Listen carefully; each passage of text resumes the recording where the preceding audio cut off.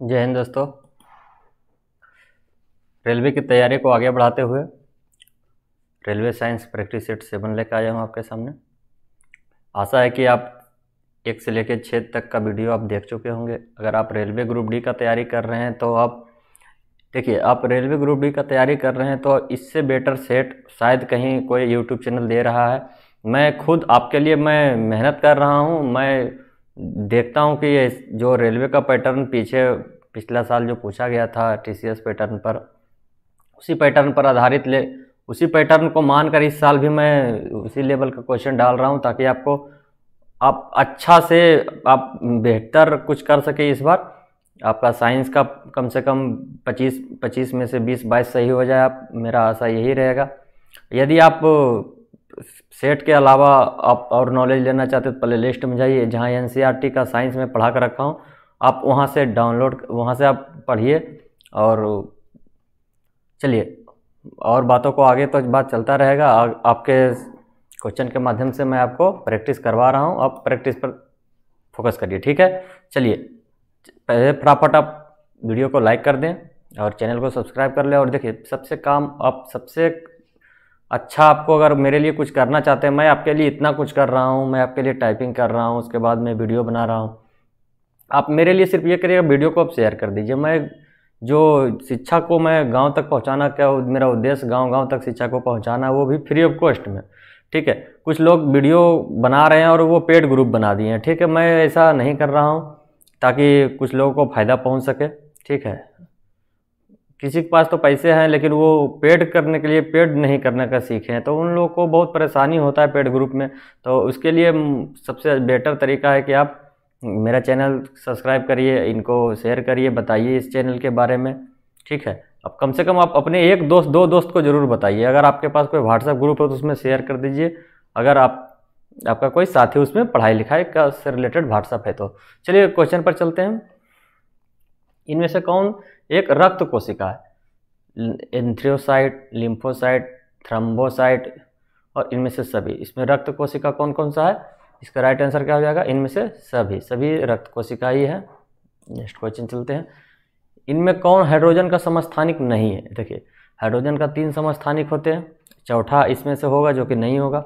Option एक protium deuterium tritium holmium देखिए hydrogen का समस्थानिक में कौन नहीं होता है? होलियम। तीनों है हाइड्रोजन का समस्थानिक। आप एक बार तीनों को याद कर लीजिएगा। ध्यान से, ठीक है। नेक्स्ट चलते हैं।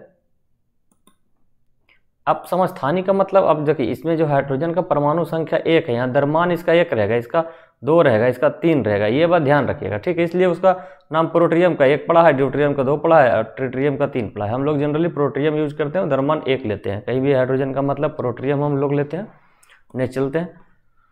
झिल्लियों से घिरा हुआ कोशिका द्रव में पाए जाने वाला अंगक, जिसमें पाचन, रसायन या इंजाइम पाए जाते हैं, क्या कहलाते हैं? माइट्रोकोन्डिया लाइसोसोम, केंद्रिका, तरकाय। इसका राइट आंसर क्या हो जाएगा? इसका राइट आंसर आपका हो जाएगा लाइसोसोम। ठीक है, अब आशा है कि आपको ये आप सही बना रहे होंगे, क्योंकि आप इस पर पढ़े होंगे कहीं ना कहीं, कोई कोचिंग संस्थान या वगैरह, ये तो अपने से नाइन टेंथ का बुक पढ़े होंगे। आप ये सब क्वेश्चन वहाँ देखने को मिलता होगा, ठीक है? चलिए नेक्स्ट चलते हैं। सेल यानी कोशिका कोशिका शब्द की उत्पत्ति निम्नलिखित में किस वैज्ञानिक का नाम? मतलब कोशिका शब्द किसने दिया? कहने का मतलब ये है, सलाडन एवं स्वान बार्सन एवं क्रिक नील एवं रुस्का, रॉबर्ट हुक। तो इसका राइट आंसर क्या होगा? कोशिका शब्द किसने दिया था? रॉबर्ट हुक ने दिया था। और सलाडेन एवं स्वान क्या था? कोशिका का सिद्धांत दिया था। चलिए ठीक है नेक्स्ट चलते हैं। बार्सन की तो जीन से रिलेटेड है। नेक्स्ट चलते हैं। इनमें से जाइलम का कोशिका नहीं है। जाइलम कोशिका फ्लोएम कोशिका, अगर आपको ये पादप उत्तक का समझ में नहीं आता है तो आप प्ले लिस्ट में जाइए एन सी प्ले लिस्ट में मैं प्लांट टिश्यू, यानी पादप उत्तक पढ़ाया हूँ, उसमें मैं क्लियर करके बताया हूँ कि ये ये ये पादप उत्तक के बारे में आप वहाँ से पढ़ सकते हैं। और अगर आप पढ़े होंगे तो ये आपको ईजी से बन जाएगा, ठीक है? तो आइए इनमें से जाइलम कोशिका नहीं है। जाइलम बाहिनी कोशिका, ट्रैकिड, जाइलम पेरेनकाइमा चालनी कोशिका। देखिए, इसका राइट आंसर हो जाएगा, चालनी कोशिका नहीं है, क्योंकि चालनी कोशिका और साथी कोशिका, ये दोनों किसका है? फ्लोएम का भाग है, ठीक है? जाइलम जाइलम जो है, चार प्रकार के कोशिकाओं से बना होता है। जाइलम बाहिनी कोशिका, ट्रैकिड और जाइलम पेरेनकाइमा और जाइलम रेसा, ठीक है? और फ्लोएम किस किस का बना होता है? तो वो हो जाएगा आपका साथी कोशिका चलनी कोशिका फ्लोएम पेरेनकायमा और फ्लोएम रेसा ठीक है? नेक्स्ट चलते हैं। जीवाश्म ईंधन का उदाहरण है। जीवाश्म ईंधन का उदाहरण कौन सा है? कोयला, लकड़ी, गोबर, गैस, सभी। इसका राइट आंसर क्या हो जाएगा? जीवाश्म ईंधन मतलब जो कहीं ना कहीं जीव जंतु या पेड़ पौधे से बना है। तो कोयला भी जीव जंतु से ही बना है, लकड़ी भी है और गोबर गैस भी आप कहिए कोयला जीव जंतु से बना है? तो बहुत साल तक अगर दबा रह जाता है ताप दाब के उसको मिलता है तो क्या हो जाता है? जीवा, जीव जो है कोयला में बदल जाता है। नेक्स्ट चलते हैं। एक तरंग की आवृत्ति सौ हटर्ज है। तो आवर्तकाल का मान क्या होगा? देखिए, इसका बना लीजिए, आवर्तकाल क्या होता है? आवर्तकाल का मान one by one by T होता है। ठीक है, एन बराबर वन बाई टी। तो आप इसका आप सूत्र से बना लीजिएगा। अगर नहीं बनेगा तो कमेंट में करिएगा। मैं ये हर बार मैं आपको बताता हूँ, लेकिन इस बार मैं आपको नहीं बताने जा रहा हूँ। आप सीधा आप जब तक प्रयास करिए, नहीं प्रयास होता है तो आप मेरे व्हाट्सएप ग्रुप में जुड़े हैं या तो टेलीग्राम ग्रुप में जुड़े हैं तो आप इस पर चर्चा कर लीजिएगा, ठीक है? तो इसका राइट आंसर क्या हो जाएगा? ज़ीरो पॉइंट वन सेकेंड क्योंकि आपको मैं सूत्र भी बता चुका हूँ कि टी बराबर वन बाई एन यानी एन का मान यहाँ हटर है तो एक बटा एन आप करते हैं तो एक बटा सौ करते हैं तो उसका राइट आंसर क्या हो जाएगा? Zero point zero one one चलिए सेकेंड में है ये सब सब टोटल का टोटल सेकेंड में दिया हुआ, ठीक है? क्योंकि आवर्तकाल का मान है सीधा आपको एक ही बात तो याद करना था कि टी बराबर टी मतलब टाइम बराबर one by N one by आवर्त आवृत्ति, ठीक है? नेक्स्ट चलते हैं। ओजोन परत पाई जाती है। स्टेटोस्फियर एक्सोस्फियर आइनोस्फियर ट्रोफोस्फियर देखिए, ये ये आप तो कहें, रटे होंगे कि समताप मंडल बहिर्मंडल ओजोन ये क्षोभ मंडल ऐसे करके आप रटे होंगे तो आप कहीं ना कहीं आप इंग्लिश भी इसका रट लीजिए।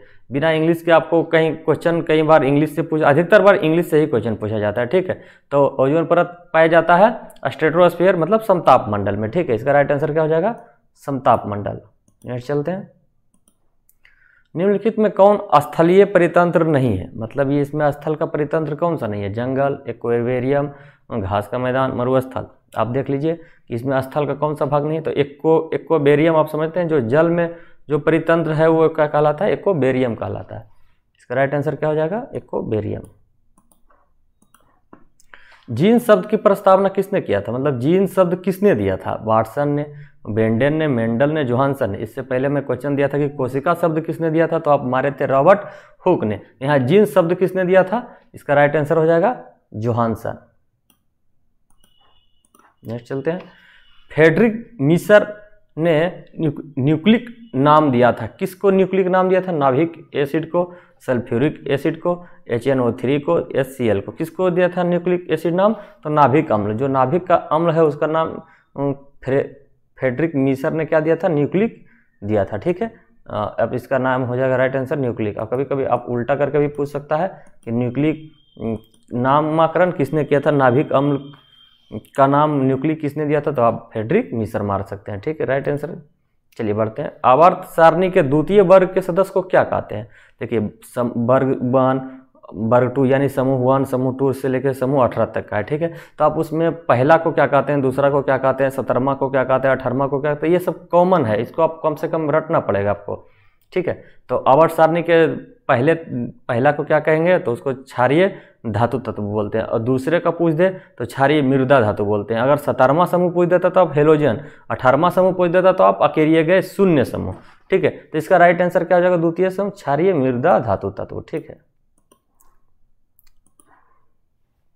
आवर्त सारणी में शून्य समूह का तत्व नहीं है। इनमें से कौन सा तत्व आवर्त सारणी का शून्य समूह का नहीं है? नियोन हीलियम, क्लोरीन ऑर्गन देखिए, शून्य समूह का मतलब अठारहवा समूह। अक्रिय गैस। अक्रिय गैस इसमें कौन सा नहीं है? तो क्लोरीन। क्लोरीन क्या है? एक हेलोजन है। राइट आंसर हो जाएगा क्लोरीन। ठीक है? चलिए, नेक्स्ट चलते हैं। मिथेन में कितने सहसंयोजक बंधक होते हैं? दो, चार छः आठ।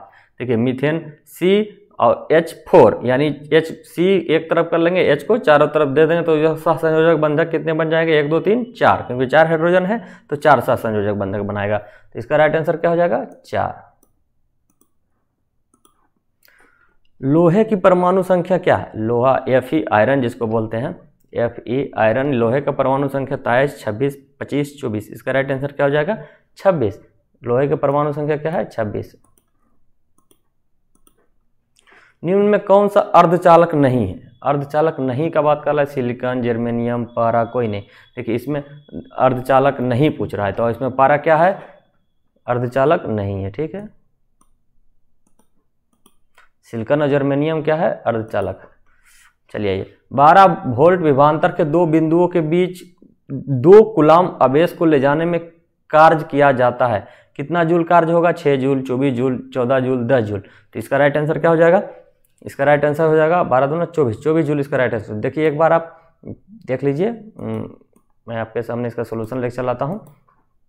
देखिए, आप भी बराबर क्या होता है? डब्लू बाई क्यू यानी क्यू यानी वोल्ट बराबर कार्य बटा आवेश यानी अब तो फिर हम यहाँ डब्लू पूछ रहा है, कार्य पूछ रहा है तो भी गुने क्यू तो बारह दूनी चौबीस जूल आंसर हो जाएगा इसका। चलिए नेक्स्ट चलते हैं। किसी बल्ब से 220 वोल्ट पर 2 एम्पियर की धारा प्रवाहित होती है तो फिलामेंट का प्रतिरोध क्या होगा? पचपन ओम 10 ओम 220 ओम 110 ओम। देखिए, आप पढ़े होंगे ओम का नियम भी बराबर, आई आर पढ़े होंगे, ज़रूर पढ़े होंगे तो आप फॉर्मूला लगा दीजिए। भी बराबर आई आर तो यहाँ आर पूछ रहा है तो आर बराबर क्या हो जाएगा? भी बाई आई तो भी का मान दो सौ बीस और आई का मान दो तो यानी दो सौ बीस बाई दो यानी एक सौ दस ओम। इसका राइट आंसर क्या हो जाएगा? एक सौ दस ओम। चलिए नेक्स्ट चलते हैं। विद्युत फ्यूज, विद्युत धारा के किस सिद्धांत पर काम करता है? उसमें सिद्धांत, चुंबकीय सिद्धांत, रासायनिक सिद्धांत, इनमें से कोई नहीं। देखिए, विद्युत फ्यूज जो है ना, ये उसमें सिद्धांत पर काम करता है। जैसे ही विद्युत फ्यूज में उष्मा बढ़ जाती है तो यह क्या हो जाता है? फ्यूज गल जाता है। चलिए नेक्स्ट चलते हैं। एक किलोवाट घंटा किसके बराबर होता है? फैक्ट है, रट लीजिए। ज़ीरो पॉइंट थ्री सिक्स गुना दस पर पावर छः जूल, वन पॉइंट सिक्स गुना दस पर पावर माइनस उन्नीस जूल थ्री पॉइंट सिक्स गुना दस पर पावर सिक्स जूल, इनमें से कोई नहीं। तो इसका राइट आंसर क्या होगा? आप बना ही लिए होंगे। वन, थ्री पॉइंट सिक्स गुना दस पर पावर छः जूल। खंडन द्वारा जनन होता है, हाइड्रा में, अविवा में स्पायरोगैरा में, ईस्ट में। देखिए, खंडन द्वारा किसमें होता है? द्विखंडन द्वारा किसमें होता है? बहुखंडन द्वारा किसमें होता है? आप देख लीजिए जाके, ये सब का एक, मैं इसका स्पेशल एक छोटा सा वीडियो बनाया हूँ। आप वहाँ जाके देख लीजिए। आपको शायद ज़्यादा फ़ायदा करेगा। ठीक है, आप एक बार कॉपी में वहाँ जाके प्ले लिस्ट जाइए। प्ले लिस्ट में वो नहीं मिलेगा डायरेक्ट वीडियो में कहीं ना कहीं मिल जाएगा, खोज लीजिए। ठीक है तो खंडन द्वारा ही स्पायरो गायरा में प्रजनन होता है। चलिए नेक्स्ट चलते हैं। अमीबा बोलेगा तो दुई खंडन हाइड्रा बोलेगा तो पुनर्उद्भवन, और ईस्ट बोलेगा तो ये क्या होता है? मुकुलन। चलिए नेक्स्ट चलते हैं। हाइड्रा में भी मुकुलन होता है। चलिए, हार्मोन श्रावित होता है अंतर श्रावी ग्रंथि से बाह्य श्रावी ग्रंथि से, नालिका ग्रंथि से, इनमें से कोई नहीं। हार्मोन जो भी होता है, कहाँ से श्रावित होता है तो वो अंत श्रावी ग्रंथि से ही सर्व श्रावित होता है, ठीक है? चलिए नेक्स्ट चलते हैं। थायरोक्सिन का श्रावण कहाँ से होता है? थायराइड ग्रंथि से यकृत से, वृक्ष से, बीरसन से। तो थायरोक्सिन का श्रवण कहाँ से होता है? थायराइड से होता है, ठीक है? थायराइड नामक ग्रंथि से थायरोक्सिन का श्रवण होता है। चलिए निम्नलिखित में कौन एक अंतःस्रावी और बाह्यस्रावी ग्रंथि दोनों प्रकार को नहीं दोनों प्रकार की नहीं होती है। जैसे इसमें से तीन ऐसा है जो कि दोनों प्रकार का काम करता है। अंतःस्रावी का भी और बाह्यस्रावी का। तो एक उसमें से कौन नहीं है जो कि दोनों प्रकार का काम नहीं करता है। मैंने इसमें हाँ करके चाहता था, मैं लिख सकता था, लेकिन मैं क्वेश्चन को आपके सामने अच्छा से पेश करने के लिए इसमें नहीं दिया हूँ, ठीक है? तो ये पिट्री ग्रंथि है, जो कि ये अंतराश्रावी ग्रंथि है। ठीक है, बाकी दोनों क्या है, अंतर, बाकी तीनों जो अंतर शराबी भी है और बाह्य शराबी भी है। इसका राइट आंसर क्या हो जाएगा? प्यूटरी ग्रंथि, जो कि सिर्फ़ अंतरा शराबी है। ये तीनों जो है, आप रट लीजिए। क्वेश्चन में बहुत बार क्वेश्चन पूछेगा कि इसमें से कौन सा दोनों ग्रंथि है अंतराश्रावी और बाय, दोनों प्रकार की ग्रंथि है। तो अग्नाशय ऑप्शन रहेगा तो वो भी मार दीजिएगा, नहीं रहेगा तो बिरसन रहेगा तो वो मार दीजिएगा, अंडाशय रहेगा तो वो मार दीजिएगा। ये तीनों क्या है, दोनों प्रकार का काम करता है, जबकि प्यूटरी सिर्फ़ अंतराश्रावी नेक्स्ट चलते हैं। लास्ट क्वेश्चन अम्ल वर्षा का पीएच मान क्या होता है? ठीक है अम्ल वर्षा देख लीजिए। सिक्स पॉइंट सिक्स से अधिक का पीएच मान का वर्षा क्या कहलाता है? अम्ल वर्षा सात से अधिक का अम्ल सात से अधिक जिसका पीएच मान अम्ल वर्षा। Six point five point six से जो कम है वो अम्ल वर्षा या सात से कम अम्ल वर्षा। देखिए, एनसीईआरटी में सफ़ा सफ़ा पॉइंट लिखा हुआ है कि जो यदि अम्ल यदि वर्षा का पीएच मान 5.6 से कम हो जाए तो क्या होगा? अम्लीय वर्षा कहलाएगा तो इसका राइट आंसर सी हो जाएगा 5.6 से कम रहेगा तो अम्लीय वर्षा, ठीक है? और बोलेगा कि किस, एक, देखिए एन में क्लास टेंथ में जो है पीएच मान पर एक और क्वेश्चन आप बनता है कि मनुष्य का जो मुँह का पीएच मान कितना से कम हो जाता है तो दांतों का क्षरण शुरू हो जाता है। तो उसका राइट आंसर क्या बनता है? 5.5 5.5 से अगर पीएच मान उसका कम हो जाएगा तो दांतों का क्षरण शुरू हो जाएगा। और एक और क्वेश्चन है कि शरीर, मानव शरीर किस पीएच के प्रास ट्रांसफ़र काम करता है तो सात से लेकर सात पॉइंट आठ तक का ही काम करता है। देखिए कुछ कुछ का पीएच मान है जो कि एनसीईआरटी में दिया तो वो तो कम से कम अब कन्फर्म करके रट लीजिए, ठीक है? चलिए, आज का सेट समाप्त हुआ। आशा है कि आपको पसंद आया होगा। यदि आपको अच्छा लग रहा है तो आप अपने कम से कम नज़दीकी दोस्तों के पास ज़रूर शेयर करें। जो लोग गाँव में पढ़ रहे हैं, उसके पास शेयर करें। अपने जो ग्रुप में अगर स्टडी कर रहे हैं कम से कम आपके पास व्हाट्सएप ग्रुप है तो उसमें आप शेयर करें।